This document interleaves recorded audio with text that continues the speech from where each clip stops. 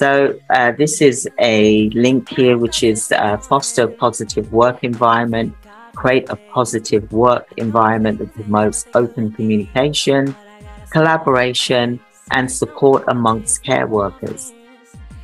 This can help reduce stress and burnout by providing a sense of community and social support. And this is um, a link here, which is the four essential tools to reduce your workload stress, the American Institute of Stress.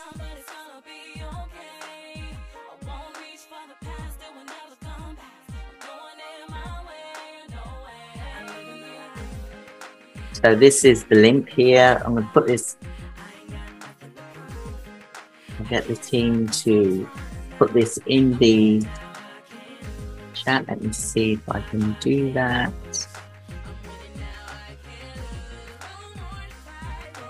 Not at the moment. I'll, I've copied it anyway, so I can do that later.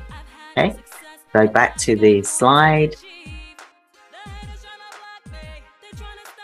So, like I said, I clicked the link. It's called Four Essential Tools to Reduce Your Workload and Stress.